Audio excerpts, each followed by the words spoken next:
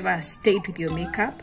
I've stayed with this look since yesterday 11 p.m and right now it's 5 p.m the following day so i've really stayed with this makeup. And um, it still looks good yani. So i want to go do my skincare routine. I'm gonna do a full sk- skincare routine because i feel like i've never stayed this long with makeup and i really love my skin guys and i don't want to make my skin suffer. So i want to go scrub do a mask all that.